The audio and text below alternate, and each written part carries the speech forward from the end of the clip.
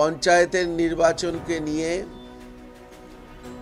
Supreme court আজকে যে রায় দিয়েছে,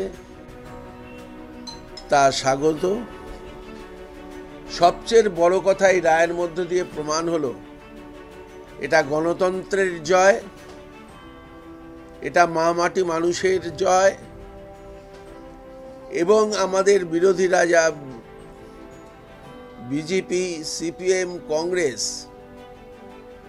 নানা অছিলা করে মানুষের অধিকারকে, রাজ্যের উন্নয়নকে যে স্তব্ধ করে দিতে চাইছিল, তার বিরুদ্ধে জয় সুপ্রিম কোর্টও বারবার টিএমসির যে ইয়ে এবং ইলেকশন কমিশনের উকিল সবাইকে ধমকেছেন।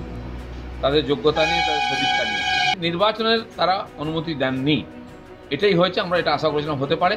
মানুষ বঞ্চিত হয়েছেন, সেটা অনুমতি দেননি, বিকল্প রাস্তা দিয়েছেন, সেই বিকল্প রাস্তা নিয়ে আমরা চিন্তা ভাবনা করছি। ক্লাসের সবচাইতে বখাটি ছেলেটা, তাকে রোজ নীল ডাউন করানো হয়, কান ধরে উঠবোস করানো হয়, করাবার পর একশো বলে, "আজ ছেড়ে দিলাম আজকে, যা।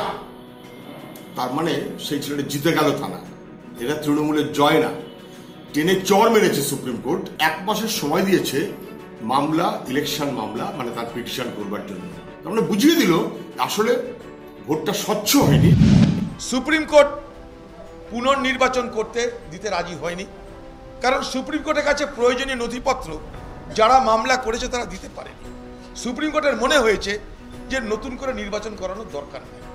কিন্তু সুপ্রিম কোর্ট কথা বলেনি যে বাংলায় যা নির্বাচন হয়েছে তা শান্তিপূর্ণ, তা গণতান্ত্রিক পথে হয়েছে। এ কথা কিন্তু বলেনি।